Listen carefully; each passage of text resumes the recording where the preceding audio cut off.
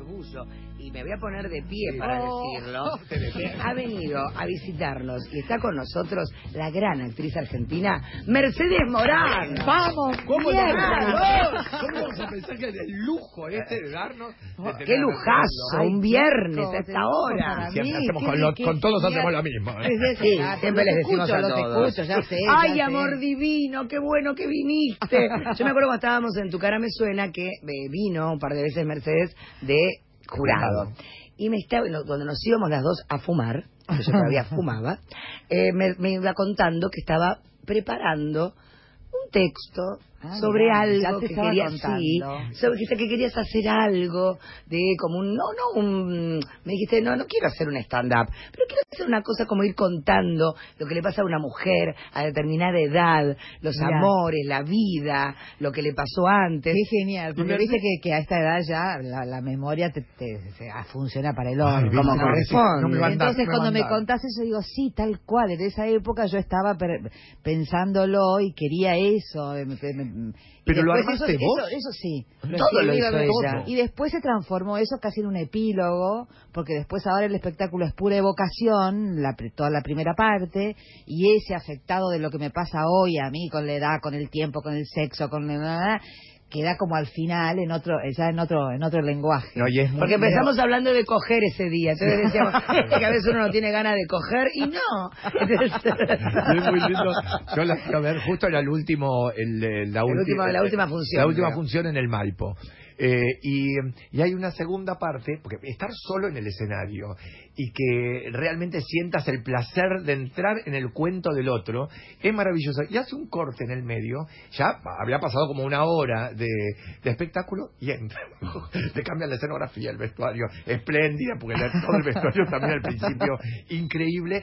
Y dice, no piensen que ahora viene la segunda parte, una, una hora más, ya termina. Yo vi una carcajada porque la sensación también es esa con el teatro, que si es mucho, ya me claro, pierdo. No, claro, claro. No, yo, viste, pues dije, bueno, eh, que quede claro que si bien me relaciono con el público, si lo digo, no voy a hacer eso que yo odio como espectadora, es que me hagan participar. No voy a hacer participar Claro. a nadie. Ay, qué suerte qué alegrón Claro, Gabriela. claro, claro, el alivio de, de- de- Sí, no, no, no. del- Y, y también, bueno, todas esas cosas que hago que tan tan desaconsejadas. Lo primero que digo cuando abro el espectáculo es, soy fulana de tal, nací tal día, tal año. Digo Claro. la edad. Y tú No. dices, no digas la edad. ¿Por qué? Que estoy bárbara Pero no, pero si estuviera mal Que nos, nos empujan a mentir. Y después Claro. nos acusan de mentirosa. Mentirosa, tal cual. Muy bien dicho. Dicen, te- dicen, ¿por qué decís la edad que tenés? Si estás divina. Bueno, por eso. Si estuviera eso. mierda también, claro. como justificación. No, no, no. Bueno, estoy hecha mierda, pero tengo tantos años. Tenés razón, Entonces un día perfecto. salgo y, y una, una señora me dice...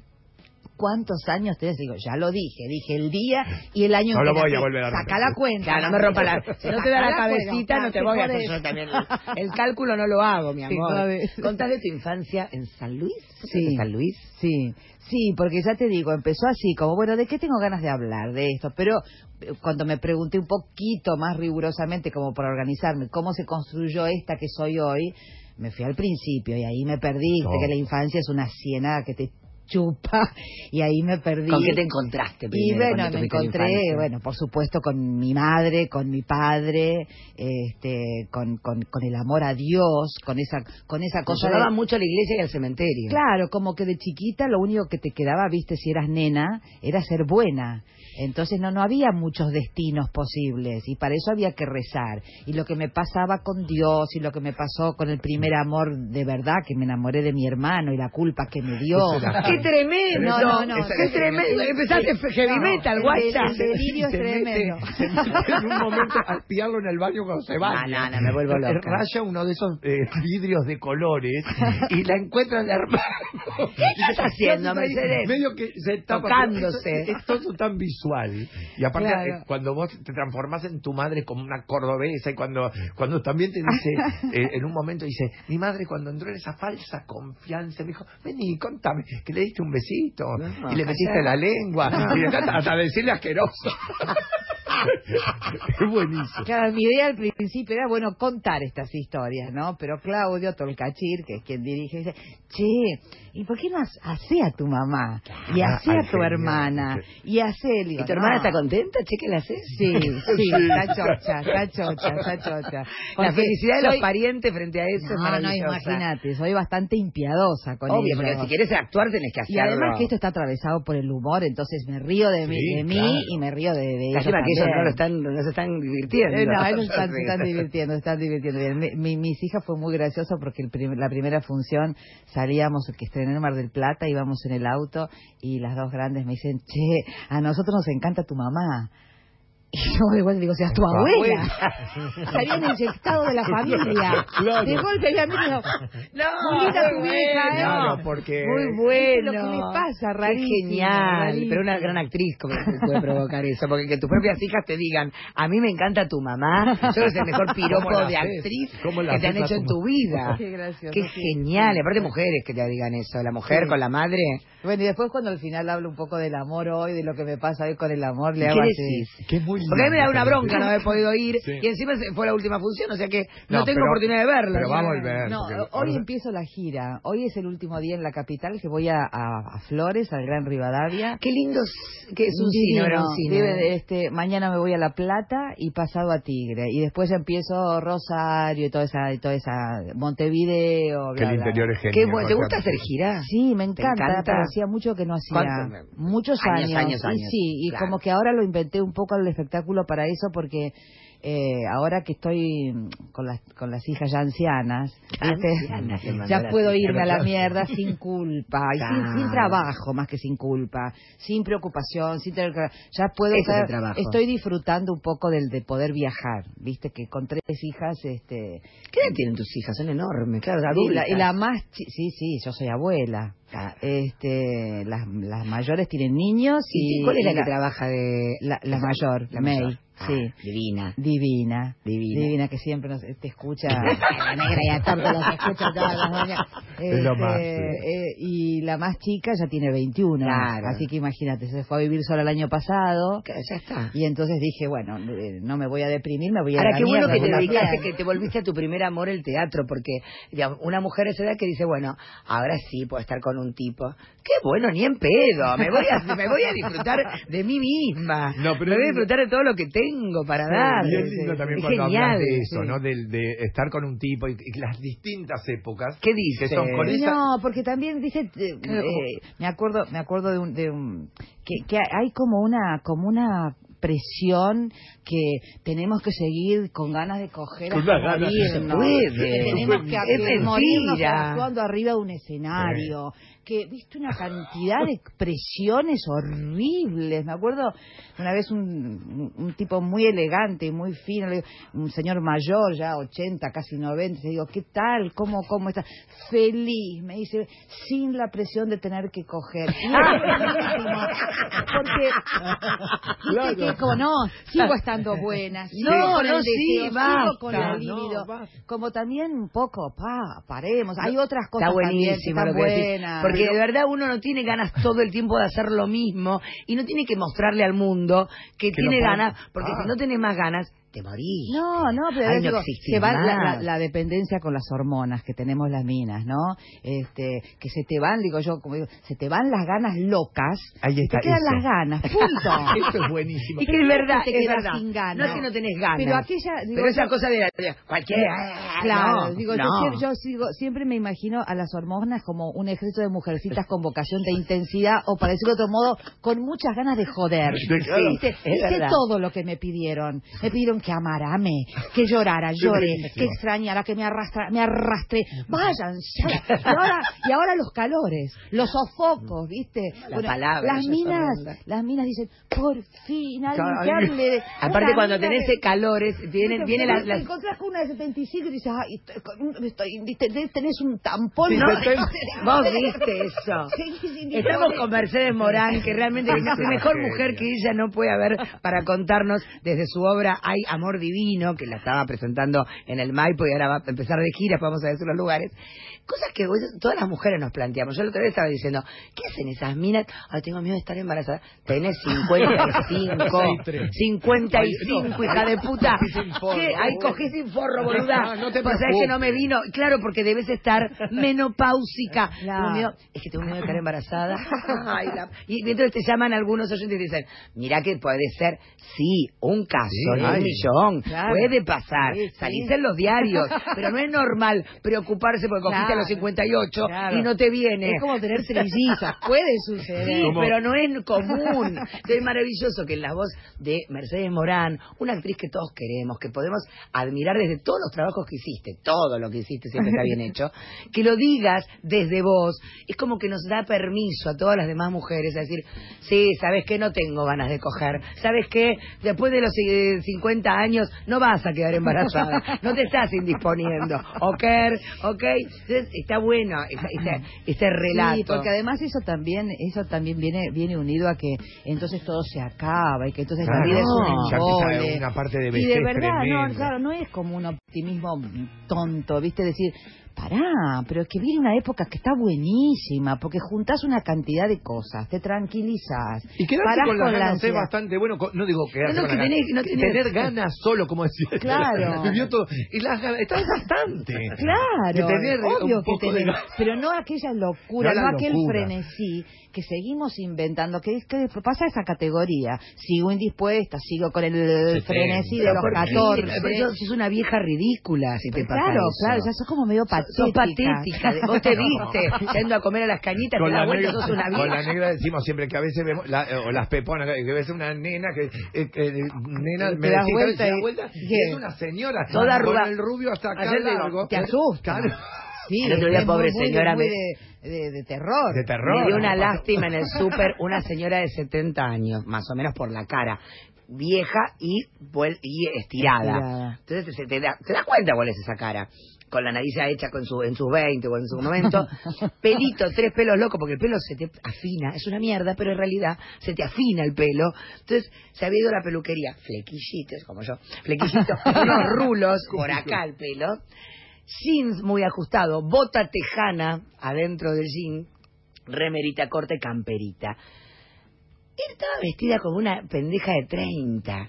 No, no te digo que te vistas como una señora de, de 70. No, claro, No te vas a poner un vestido No, no, porque, porque largo. no es una cosa Pero no formal. podés- ni con- ¿a dónde te compras la ropa? No, ponete lo que quieras. por me decía no intentes disimular lo que sos. Eso me No, parece que es choto, eso. ¿no? Porque No importa, Porque después ponete- Humberto una vez lo me que cargó quieras. y para mí fue fantástico porque para eso están los amigos. Y me dijo, ¿qué te pusiste? La remera en chiqui y te la compraste.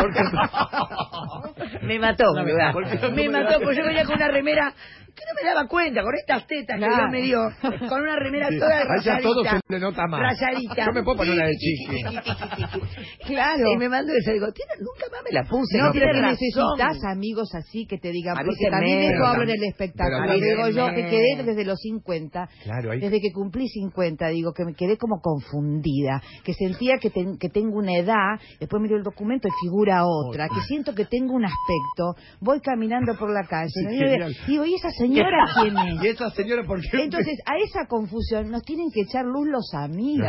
Nada más. Este, tirar, encerrarnos con llaves. No, así, Así no salís, calzas así no salís, basta. Y te- a la mierda, te dejan Y encerrar. Es lo mejor que pueden hacer. Es lo mejor porque uno para eso tuvo amistades. Claro. Para que en este momento nos lo digan. Ejemplo. y de verdad está buenísimo. Yo decía- de verdad, cuando me miro al espejo digo, ¿dónde está mi cuerpo? De verdad. O sea, ¿quién lo tiene? La concha de la lora. Alguien se lo llevó y yo no tengo mi cuerpo, que me lo devuelvan. Porque no sé qué hacer sin mi cuerpo. Por supuesto. Tengo que acostumbrarme a vivir con este cuerpo que no me gusta. Claro.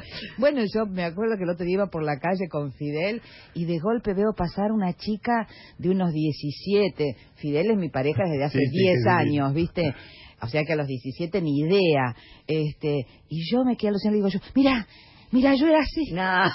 Yo Yo era así. Ahí estoy. Chica, ¿viste? Ahí estoy. No, pero vos, vos Mercedes, igual estás eh, muy bien. ¿Entendés? Porque es muy loco lo que te pasa. Muy loco lo que con pasa. la edad, con, Con el tiempo. todo. Que vos sentís que tenés una, una edad. Pero adentro, que no está afuera. Es loquísimo. Es muy loco, de verdad es muy loco. Y a la mujer, que todo lo sentimos, y que todo lo llevamos por dentro, y que parimos, y todas esas cosas, por más que no- eh, algunas no han parido, lo llevamos todo, tenemos la posibilidad. Todo nos pesa mucho, todo es Claro. como, todo es sensible, Claro, todo es, y sí. la mirada de las otras mujeres creo que la es peor, Sí, porque sí, la sí, mirada de la otra conchuda que te mira, ya te va a llegar mi reina, ya vas a venir a este lugar, o sea, está buenísimo, yo me, me moría por ir a verte, pero voy a ir a La Plata, se puede ir, Por supuesto. Claro. Vamos, hacemos excursión. Claro, es Mañana, mañana, solo mañana voy a La Plata. Puta, Claro, es. bueno, porque lo que Bueno, pasa es... Rosario, negrita, hoy voy a volver. Acuérdate que vos te vas dos horas, en dos horas En dos horas yo llevo a Rosario. La manija.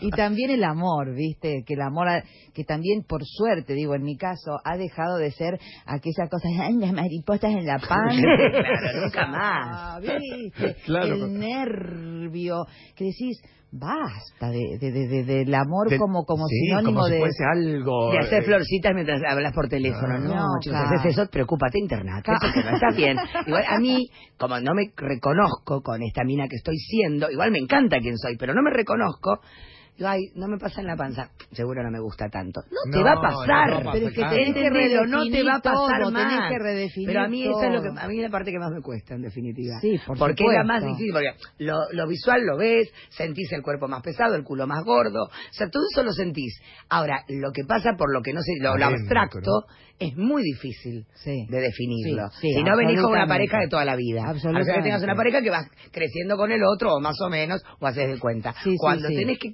Tenés asociado a las cosas sensorialmente, Ay, no, tengo- emocionalmente acá tengo que sentir Sí. el primer beso. No lo voy a sentir. No, ya no, es como- Ay, no, cuando me coja. Sí, no, no. Capaz que el ni se le para. O sea, tenemos pro- no, eh, hay una, una película muy linda se llama Todos tenemos problemas. Que está bueno no empezar como a pensar que Pensar que sí, que es todos eso, de todos. a todas las edades esto ya no no no solo a partir de una edad. Que que esta cosa de que que no somos perfectos ni que deberíamos intentar ser lo que es un trabajo al pedo, que te lleva tiempo, que te desgasta, eh, como aceptarnos así, como Lo que pasa es que uno te mira a vos, a mí me pasa como mujer, que te miro a vos y digo, claro, para ella es fácil, si es divina y es perfecta. Pero viste No. que siempre uno ve en el otro Oh, la perfección que uno no ve en sí mismo. Entonces digo, sí, claro, y ella, mira, está bárbara, está divina, tiene un cuerpo bárbaro, tiene una experiencia de... No, nada, Y- nada y más lejos, mismo. nada más lejos Claro, de sentirme así. Exactamente, pero viste que nosotras no ninguna se siente así. Por supuesto. Y esa, bueno, es parte pero, de ser mujer. Mercedes, eso. vos como, como actriz lo sentís eso arriba del escenario, porque a vos se te ves eh, realmente uno lo que siente de abajo espléndida, con esa ropa que te la... Esa es la de genia de Mónica lo hizo, algo que con... Porque queríamos que fuera todo muy minimalista, ¿viste? Todo el espectáculo en su concepción visual, que, que, que lo que se proyecta realmente sume, que lo que yo puedo eh, hacer imaginar al espectador con mi, con mi relato no esté ahí para ilustrar nada. Este, y con la ropa era el mismo criterio, Pero ¿viste? Era, Me es estaba contando, Mario, que apareces con un... un, un vestidito de él que eh, lo cruzas muy lindo así, porque se lo haces cruza, se lo cierra. cosas y lo cerrás, lo abrís Pero y lo ya son, abre son y ya es otras sexy. cosas. Lo abre hasta acá y sexy. Lo ¿Quién te lo hizo? y ¿Quién hizo? Mónica Una Toschi, genia. No. una genia. Y, y lo, y lo del pullover, lo del pullover de Johnny, Sí, bueno, en un momento, entonces, cuando cuando lo- le- le- bailo con Johnny, que lo, lo, lo proyecto en la pantalla y bailo con él, este como como una niña loca, porque es como siempre como una niña loca, como una mujercita loca. Siempre fui muy loca yo, ¿no? Muy Muy, afectada con el, el amor me volvía loca, como una fan loca. Ay, sí, loca, loca, Entonces pero- me pongo un suéter que Mónica hizo tejer un suéter Igual, al que figura en la, en, en la película de Johnny que está Johnny cantando. Tedesco, estamos hablando de la Johnny época del, Tedesco. del Club del Clan, supongo. Exacto, es cuando yo vine a la ciudad y descubrí la tele, porque en el pueblo mío no había No. tele. Cuando ella cambia todo, que Obvio. vuelve vuelve del pueblo. Es genial, se le abre un panorama. otra luz, y se otra enamora, empieza como el amor, es el amor loco, ahí que es la cosa que... El amor ¿Te costó entrar, te costó Claro. entrar en el en el mundo artístico cuando llegaste a Buenos Aires? En el mundo artístico. Claro, digo, como actriz, ya eras actriz, venías a estudiar, yo- no sé cómo... No, no, vine a los siete años. Ay, chiquitita. A los siete años chiquitita y yo descubrí mi vocación tardíamente. Claro. Yo no fui de las que de chiquita participaban en las fiestas. Ni en pedo. No, no, era tremendamente, pero patológicamente tímida. Yo tenía 17 años, ponele, iba a una fiesta y no encontraba el momento de meter el bocadillo. ¡Ay, Y veía pobrecita! que se me iba la hora, que se me iba la hora, que terminaba la fiesta y no había ¿Qué- qué podido. digo? Y siempre No, estaba un boludo que te decía, che, no paraste de hablar. Yo de a dos, No. de a dos podía, pero meter un bocadillo. Estábamos justo hablando de eso antes. No podía. como- Justo, sí, por eso. Y entonces la, la, a mí la actuación me curó, Claro. me Sí. curó de eso. Yo la primera vez que hice un personaje que no era yo, con China, zorrilla, que me y tocó hacer una nieta, viste que las nietas de China son todas divinas, Son seguras, este, eh, extrovertidas. Yo dije, ¿yo ¿Cómo lo voy a hago? hacer eso? Y cuando hice la experiencia, dije, ah, se me reveló algo. O sea, yo ¿Qué puedo ser otras. Ahí es. Yo, claro, yo puedo ser otras. Y entonces ahí me, me, me enamoré de la actuación, porque porque era Pero la ¿cómo llegaste a actuar con, con China, esa chica tan que, que no Había tenía... hecho una obra antes en el teatro Off, El efecto de los rayos gamma, que era había interpretado... ya me dice todo, prácticamente. Empecé con títulos rarísimos. No eran muy comerciales. No, no voy a ir. Era el, lo corté porque era el efecto de los rayos gamma sobre las caléndulas. Ay, no. No, chicos, no, no, anda yo no voy. anda yo no voy. Este, y ahí había hecho una, una adolescente, eh, una chiquilina, y, Y bueno, me, me- fueron muchos directores de teatro, a ver, fue bastante exitosa en, en el circuito alternativo.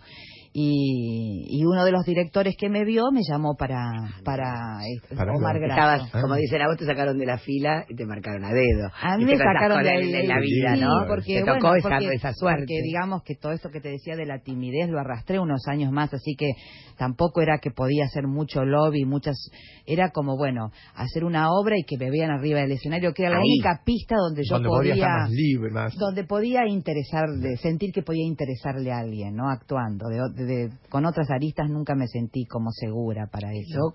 Y es verdad eso lo de, con, con tu hermana, que tu hermana era realmente mucho más linda o era parte de, del- Es lo que del- ella veía, quizá. O lo que veías, porque... Es lo que eran, lo- eran los ojos de mi madre. Ah, eran No. los ojos de- claro. Y bueno, Porque eh, era todo para la tu, hermana. tu, ma- tu mamá porque es la tengo, que uno, tengo uno solo porque no quise que me pasara eso. Claro, tu madre siempre es la que te marca en la infancia, ¿viste? Es, es que deciden quién es la más inteligente, quién es la Claro, más cariñosa. Quién es la más Y con linda, eso te morís. quién es la más cap. Claro, y vos vas a hacer y, y te morís o, o, lo- o- o vas a terapia. Claro, vas a terapia años y años. Este, o le tirás un vaso por la cabeza, que es lo que yo hice con Claro, mi que madre, termina. que lo hago en el en el, En o sea, el- que llevé a mi nieta a ver la obra que nunca me había visto actuar. Entonces la llevé ¿Cuánto tienes? seis Ah. muy consciente de, de que iba a ser una experiencia fundadora para ella ver a la abuela en el teatro. Le hice toda la onda del camarín, ¿viste? Claro, el que- escenario atrás, qué sé yo. Y la pongo a ver esta obra, que es mi vida. Claro. Cuando salimos me dice, me encantó, abuela, solamente me aburrí. Ah, perdón, eh, me emocioné. No me aburrí, Ay, me no, emocioné. no, no, No, no me aburrí, me No, no, emocioné y lo no, repitió. Y no, dice, no, no. dice, sos re famosa, abuela, pero me agarra así la mano y me dice, qué vida triste tuviste. No, mi amor. O sea que fue la la mejor idea que tiene es, pobre mi abuela, No, qué vida qué de mierda tuvo, A los ¿no? seis años, Qué claro, como para ver. divina, la visión de los chicos, por sí, Dios. Sí, sí, bueno, y la visión de los niños un poco también a- a- eh, mucha parte del espectáculo es la visión de la niña esa que, yo fui, ¿no? claro, exacto. Y esto de que Por eso es importante que haya ido. Que era más linda, que era todo para- a hubo partes que te costó hacer o que o- o- viste cuando uno lo atraviesa por el humor todo es más fácil. Sí. Pero hubo partes en que quizá te costó atravesar por el humor ciertas situaciones. ¿o No, todo- no, no, no, al contrario, no, no, el humor, el humor me, me- es un barco que me, que me subo siempre, el del que no me puedo desligar, fuera. no es algo que yo me lo proponga, es así, hay un- una distancia para mirar una situación que implica el humor, ¿viste? Eh, no, lo que le tenía más miedo eran las otras zonas, Porque me río mucho de las cosas que me hicieron llorar, ponele, como mi mamá que me castigaba y me hacía, me obligaba a dormir la siesta. Eso me puedo reír ahora. Y de las cosas más próximas, como la muerte de mi viejo. Bueno, eso te, te- justo te iba a decir, porque a mí me, me dio, cuando muere el padre, que ella se queda con la gorra y la pone así, y vos largás ahí como un sí, llanto. lloro grosso. Y, y yo dije, qué fuerte, porque tenés que llorar ahí, pero a los dos segundos tenés que estar diciendo otra cosa. Sí. Salís enseguida de, de esa emoción, que la gente frena. ¿viste? Sí, Como- es un momento muy es conmovedor para mí y lo es para la gente también. Sí, yo te digo que corrí el riesgo de ¿Por hacer hiciste? casi un, un homenaje a mi viejo. Cuando, cuando junté todas las historias que había escrito y los cuentos, saqué bastantes de mi padre, dejé algunos porque dije, bueno, se me va a convertir Sí, no, en un me homenaje a mi papá, ¿viste? Y tampoco se trata de esto lo que quiero hacer. Pero sí cla- está claro que mi viejo fue un ref- es un referente y que yo miro con sus ojos y que cuando se fue, eh, yo me sentí eso, me sentí otra vez una, una chica, ¿viste? Ya era una mujer grande, mi viejo se murió re longevo eh, y tuvimos un tiempo de encuentro extraordinario al final, porque él no era un tipo que yo chica lo recuerdo como cariñoso, pero en la última época, cuando ya estaba muy, muy anciano, yo no te puedo explicar, nadie nunca me manifestó el amor de esa manera. Me veía, se le iluminaba la Ay, cara no, y me besaba, ¿viste? ah, Y ¿sabes lo claro, cuando se murió, eh, yo sentí que había perdido algo, viste, que nunca más. Mira, para para salirnos este del Ay, no vas a hacer llorar. No, porque es la, la, es la escena. Bien, es realmente... entendí mucho a Nacha cuando se abraza a los árboles. Porque un día estaba caminando por un bosque en el sur, boludeando, viste, tranquila.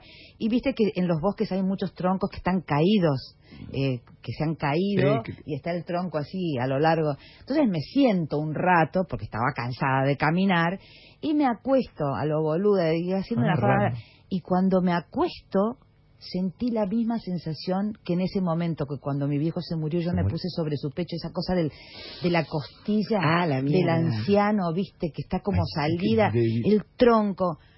Pa, me quedé abrazada al tronco, no me podían No. sacar de ahí. es de noche. Hansel y Gretel. ¿Qué hacemos? No. Hagan una fogata. Agarra el tronco, llevémosla con el tronco. Vamos a comer. Agárralo de tres punta. la trajimos con tronco. Bueno, de hecho, lo tengo acá abajo. Ah, no, no, no. Termina, acá no sube. Qué increíble las cosas que ahora, me, ¿sabes qué? Me, me quedé pensando, todo es la mirada, porque lo que, lo que vos decís.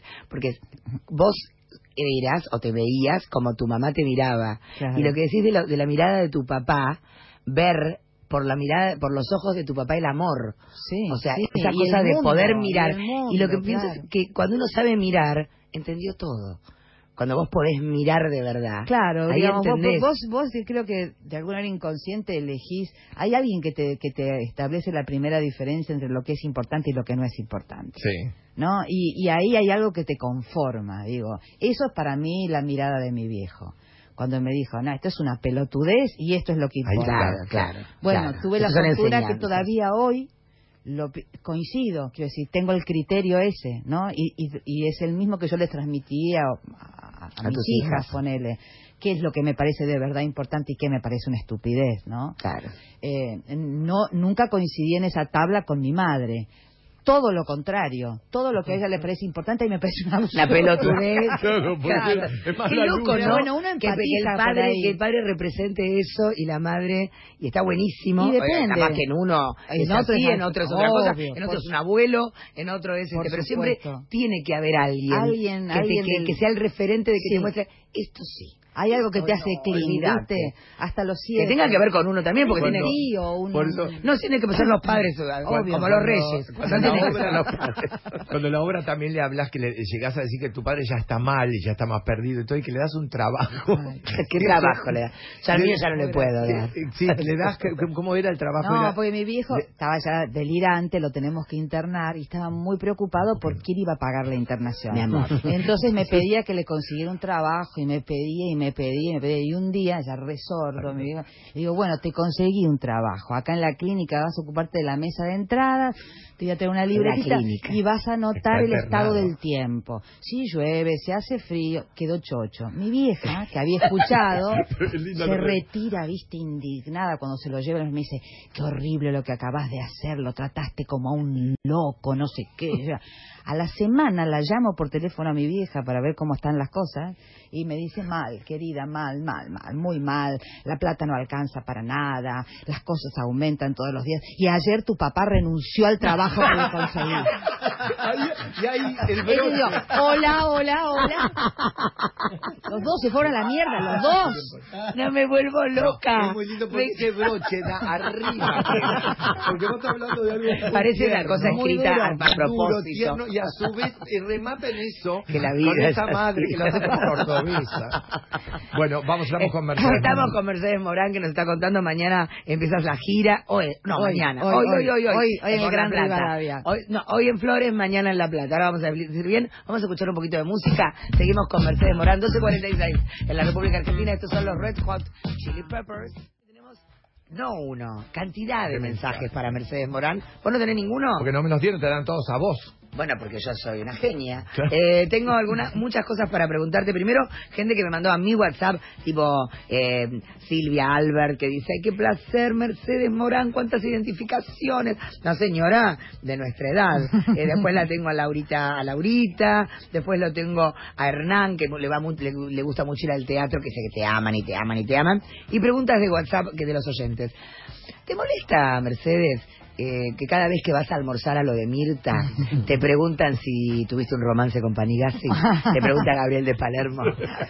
Me lo preguntó ahora, Mirta, por primera vez después de 38 mil años. Que no ibas. Qué gracioso. No, no, que, que terminó gasolero, ya ni me acordaba. Claro, hace Roxy. Ya no me Roxy acordaba que lo había hecho con eh, con- Claro, no, no me acordaba Tenía nada. pelo, todo. Claro, claro. Este, claro, no, viste, años. la verdad, sinceramente que cuando uno va a almorzar a lo de Mirta, vas preparada A todo. A todo. A todo. Este, y ella siempre te sorprende, Siempre porque la alguna. verdad Se mejora, que, ¿eh? que, que no esperaba esa pregunta, me dejó co- ¿Y qué le dijiste? me, me aga- me aga- me agarró como un ataque de Mirta, le dije, ah, no, no, no, no, no, No, ¿en serio? eh, No, así no, es así ¿Vos viste la no. última que le hicieron que le Después me vi dije, pero que me convertí en Mirta.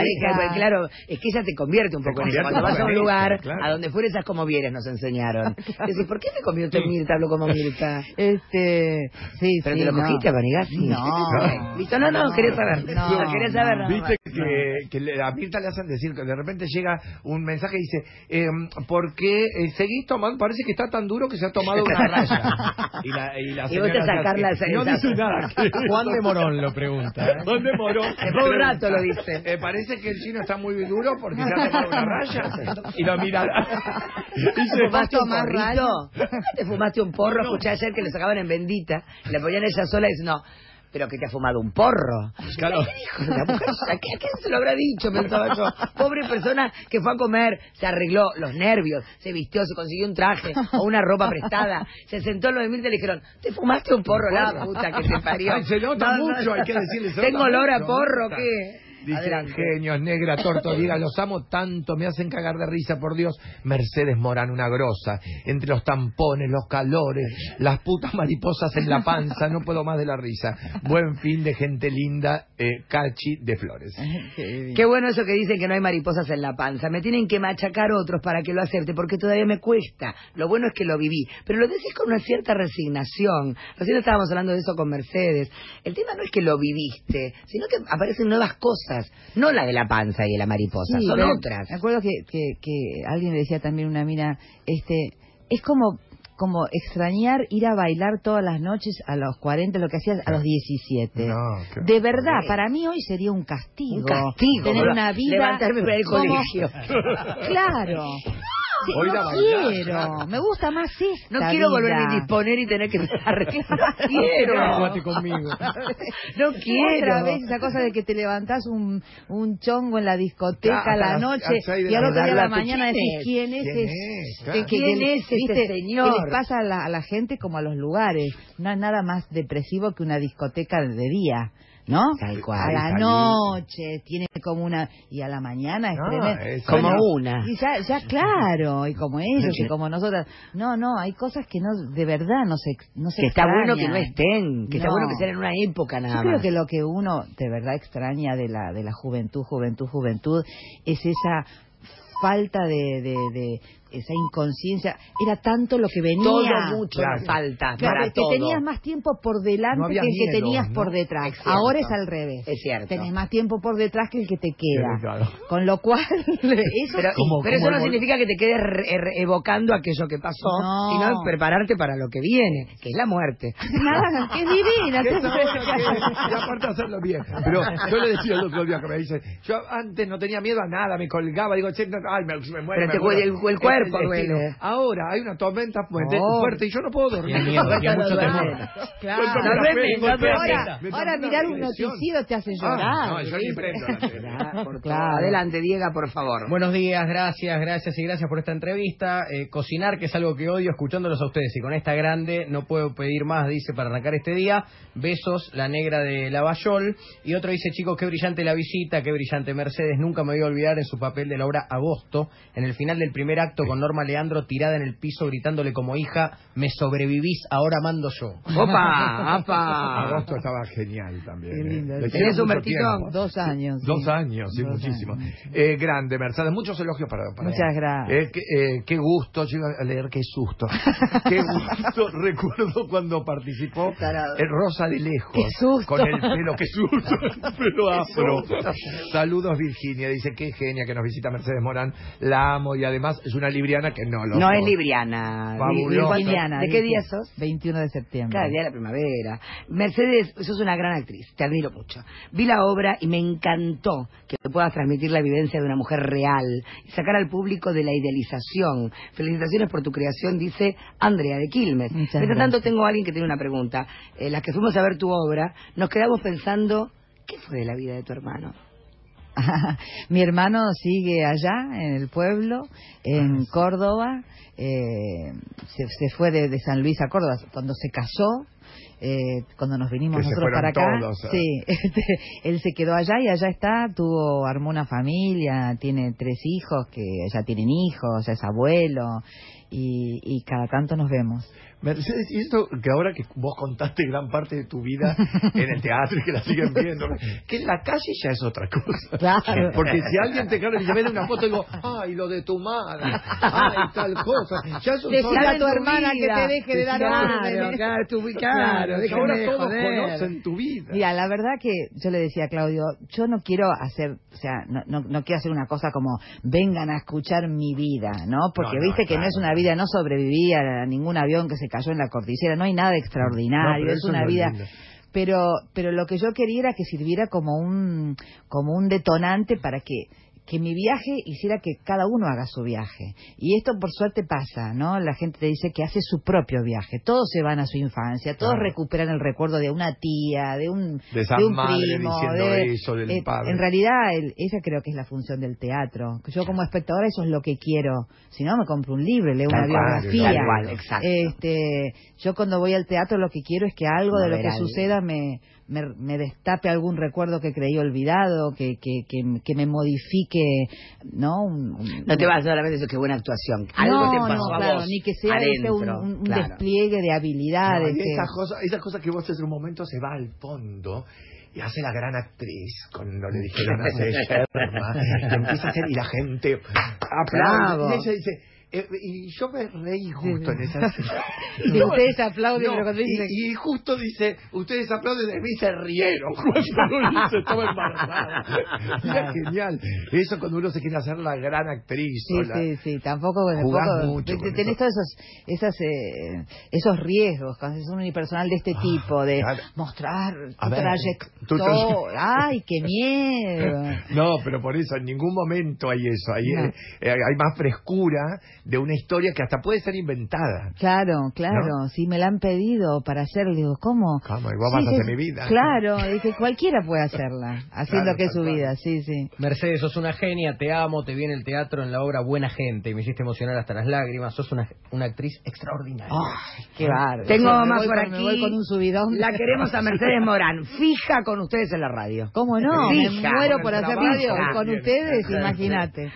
¿Qué hola, más tenemos? Hola, negra torto, Diego. Esta ya la leí. Ah, no, no. Dice, Mercedes, Mercedes, sos una genia. Me meaba de risa cuando trabajabas con Araceli González, Florencia Bertotti y otra rubia flaca que no me acuerdo cómo se llamaba. Eh, que eran cuatro amigas eh, y las puteadas que dabas. ¿Qué Ay, como puteada, para mí. Mercedes es una de las Guapa, mejores. La rubia sería Carla Peterson. Peterson, Mm. claro. Hola negra, soy Elena, amo a Mercedes desde Socias. Y es cierto que no hay nada mejor que coger sin condón a los 52 años. Ay, mira, si quedas embarazada, tenés cuidado. Eh, negra, soy Cristina de Bursaco, me hizo llorar Mercedes con su relato. Genia. Hola a todos, soy Liliana de Verazategui. Amo a esta actriz. Qué alegría escucharla, cómo nos parecemos, qué lindo hable, cómo actúa. Siempre me creo a sus personajes. Excelente actriz. Y bueno, tengo muchísimos mensajes más. Ahora entiendo todo, chicas. Ahora lo de las mariposas en la panza a los 53 lo recuperé en un viaje por la Toscana. Claro. Y claro, tal cual. Claudia de Devoto nos dice esto. Hermosa entrevista para hacer el llanto a la risa. Ustedes chicos unos capos, los quiero. Andrea de Rosario. Gente agradecida, Muy. gente feliz. Yo muy agradecida, todos para sí, que te sí, los sí. lleves, te los lees.